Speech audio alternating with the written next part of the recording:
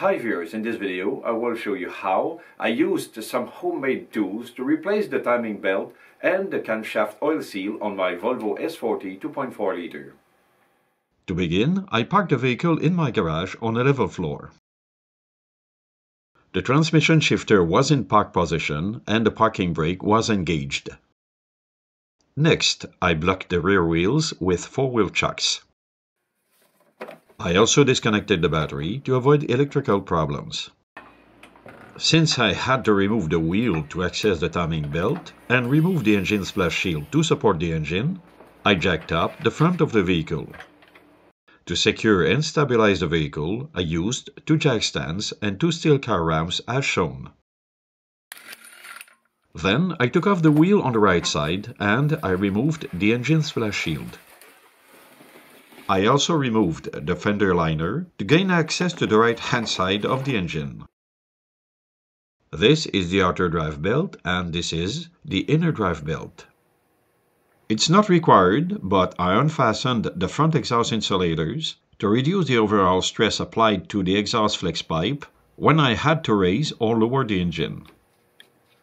To gain access to the upper right side of the engine, I disconnected the two small coolant hoses from the coolant reservoir.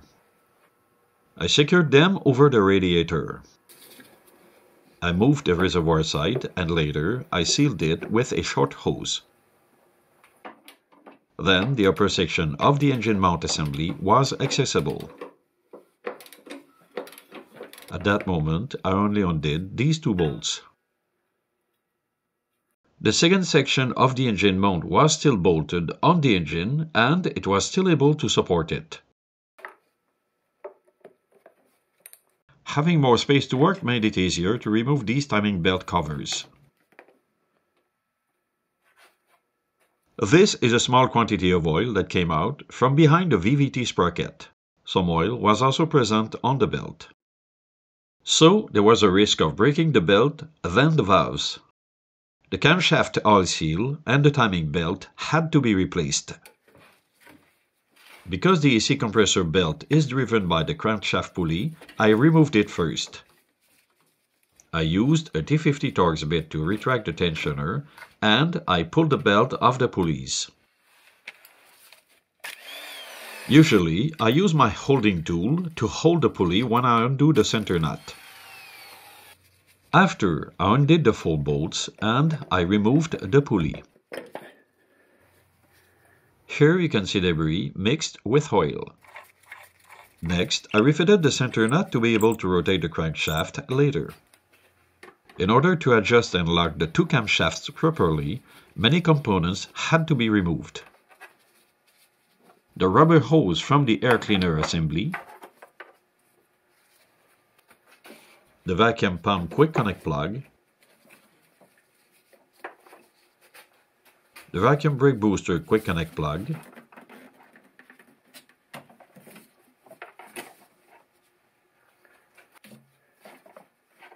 and the upper intake manifold quick connect plug. It was not required to remove the battery and the tray, but it made it easier to work and film. In this case, it gave me the chance to find and remove a rodent nest. After I disconnected more components. The rubber hose near the throttle body, the throttle body electrical connector, the throttle body flexible hose, and the intake manifold pressure sensor connector. This is the upper intake manifold. It is held in place by 8 bolts. First I undid the 6 bolts in front of the manifold and then the two other ones in the back. I carefully pulled and removed the upper intake manifold.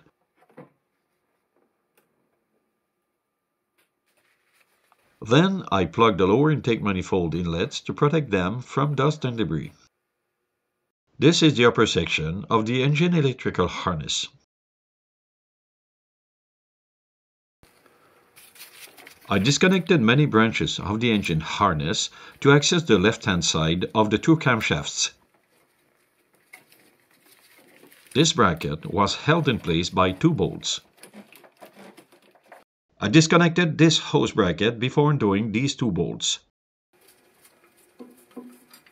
When the bracket was removed, I placed a rag to catch some oil that could have come out from behind the expansion plugs. I used a narrow wood chisel to remove the two expansion plugs.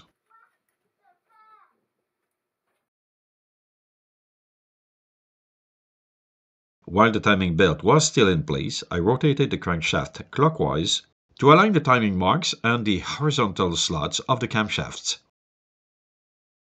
The first time I replaced this timing belt and the camshaft oil seal on this engine was in 2015. At first, I wanted to borrow a locking tool to lock the slotted ends of the camshafts. But when I tried to undo the camshaft sensor wheel screw, I damaged it. Normally, when the screw is undone, the cam sensor wheel is removed and then the camshaft can be set to position with the camshaft locking tool. Instead of drilling out the head of the screw to remove the cam sensor wheel, I fabricated a custom locking tool to lock the camshaft sensor wheel and the camshaft in position. Usually, when the two camshafts are properly aligned and locked, the timing marks on the sprockets should be aligned with the timing marks inside the timing belt upper cover. The spacing between the two sprocket marks is equivalent to 18 belt teeth, center to center. The crankshaft should also be aligned like this when the belt is properly taut. The second section of the engine mount assembly had to be removed to replace the timing belt. When I began the job, I also placed a floor jack with one piece of wood under the engine oil pan to level the engine as needed. This bolt was hidden behind the engine mount and it had to be undone to remove the timing belt lower cover. Then I unclipped the timing belt lower cover and I removed it. This is the timing belt tensioner. I removed it to replace the belt and to clean up the oil in the timing belt area. These are two models of belt tensioners that were available for the Volvo S40 around 2006. The old belt was oily and it was easy to remove. These are timing notches on the side of the sprockets and old timing marks I did in 2015. I removed the front engine lift bracket and I installed my homemade sprocket locking tool. This locking tool is not required to undo or tighten the cam phaser bolt or the phaser plug, but it's very efficient and useful. I used a T55 Torx bit to undo the plug. I also used the same bit to undo the cam phaser center bolt. After, I removed the sprocket locking tool and the VVT sprocket. I placed some rags under the oil seal to catch the oil that would come from behind the seal. To avoid damaging the steel that is normally in contact with the oil seal, I used my homemade hook tool to pull out the seal. I utilized microfiber cloth to clean these surfaces. I bought the same oil seal model that I installed in 2015. Normally, I lubricate the oil seal with the same engine oil that is used in the vehicle.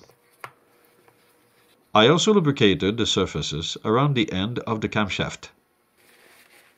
The VVT sprocket assembly was covered by oil and dirt, so I cleaned it.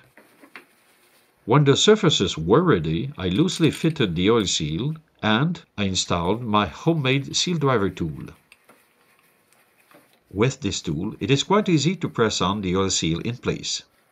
I stopped pressing on the seal when I felt it was properly seated.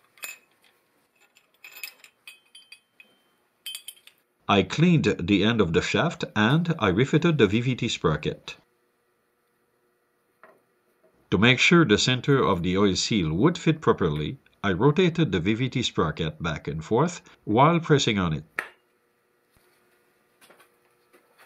I made my sprocket locking tool pre-adjusted to easily align the VVT sprocket timing mark with the timing notch of the upper cover.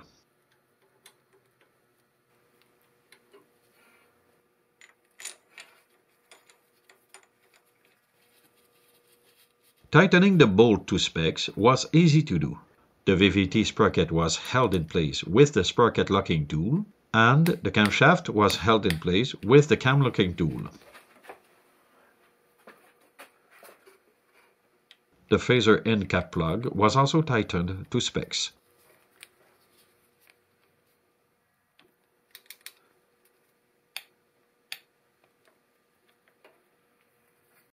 While the VVT sprocket was well aligned and locked in place, I used my belt to sprocket gauge. When the crankshaft timing marks are aligned and the camshaft assemblies are properly aligned, the two sprocket timing marks should be aiming upwards to the timing notches. The exact spacing of 18 teeth indicated that my timing belt would fit and be properly taut between the two sprockets. I installed the timing belt upper cover to double check the alignment of the timing marks. Next, I removed the upper cover to install the timing belt. This view shows you one way to install the timing belt. I inserted the Phillips screwdriver in the hole to safely keep the timing belt anchored to the crankshaft sprocket. Next, I loosely secured the belt on the VVT sprocket with a tie wrap. After I positioned the belt on the non-VVT sprocket and on the water pump sprocket.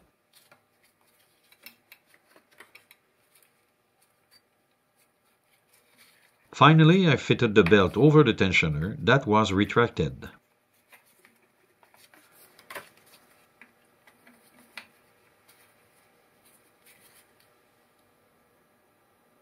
This type of tensioner pointer was set to the middle because the belt was installed at normal ambient temperature. To adjust the tension of the belt, I turned the hex bit counterclockwise until the pointer reached the end position, and I turned it back to adjust the pointer in the center. Next, I slowly tightened the retaining bolt while I was controlling the position of the pointer with the hex bit. Then I completed the installation with the torque wrench. To check the tensioner, I pressed on the belt to see if the pointer was moving properly without restriction. The setup was fine, so I removed a screwdriver from the hole in the crankshaft sprocket. The other tensioner model is put in place and the bolt is tightened to specs. Then the arm is turned to align the two holes together. A small Allen key can be used to lock the wheel in the retracted position. After, when the belt is installed, the Allen key is removed to expand the tensioner. During the real installation, I inserted the belt from the top. I began by loosely routing it around the crankshaft sprocket. When the teeth of the belt were well seated around the sprocket, I inserted the screwdriver in the hole to keep the belt in place. Next, I placed the belt behind the idler pulley. Then I routed it over the VVT sprocket. Since the belt was properly seated over the sprocket and well taut, I secured it with a cable tie. I was not able to film the final routing, but here I show a portion of the belt that I kept offset to get more tolerance to fit the belt around the tensioner. Because the space was very tight, I had to lower the engine a bit more to see the position of the pointer. This was the final installation. Here, I inserted my hand to press on the belt and test the tensioner. All the marks were aligned, so I removed the camshaft locking tool. I rotated the camshaft two full turns. When the turns were completed, I checked the camshaft sprocket marks with the upper cover installed, as well as the crankshaft timing marks. Moments after, I refitted to specs the bolts and the nut of the crankshaft pulley. I also refitted the AC compressor driving belt. Next, I installed the timing belt lower side cover. I tightened the cover bolt to specs and I fastened the cover clips. I installed the upper side cover and the front engine lift bracket. Not long after, I lifted the engine to refit this engine mount component. The two bolts were tightened to specs. Because the engine moved a bit during the work, I had to pry it back in place to install the second part of the engine mount assembly. Again, the two retaining bolts were tightened to specs. After, I removed the floor jack from under the oil pan. Because the expansion plugs are not reusable, I installed two new ones to seal the cavities. After, when the plugs were safely inserted, I refitted the rear engine lift bracket. Next, the pipe bracket was secured and the bolt was now tightened. I needed some free space to refit the engine harness, so I removed the upper cover and I moved the coolant reservoir back in place. Then I reconnected the engine electrical harness. The harness had many components to be refitted. I reconnected the five coils, the two ground eyelets, the VVT solenoids, and the camshaft position sensor. Before installing the upper intake manifold, I vacuumed the lower intake manifold. Next, I carefully positioned the upper intake manifold and the retaining bolts. Six in the front and two behind. Then I tightened the bolt to specs. I reconnected the intake manifold pressure sensor and I secured these wires.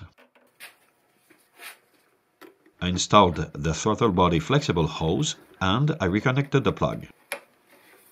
I also refitted the rubber hose under the upper intake manifold. I positioned the vacuum harness assembly and I reconnected the four branches.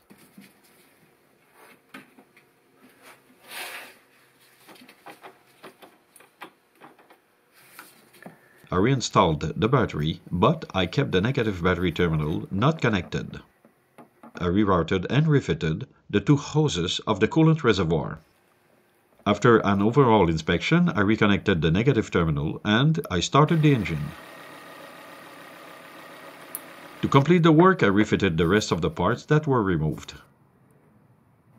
Later, I drove the vehicle for about 30 minutes and everything was fine. Since then, I added about 2000 kilometers to the odometer and the oil seal has not leaked at all.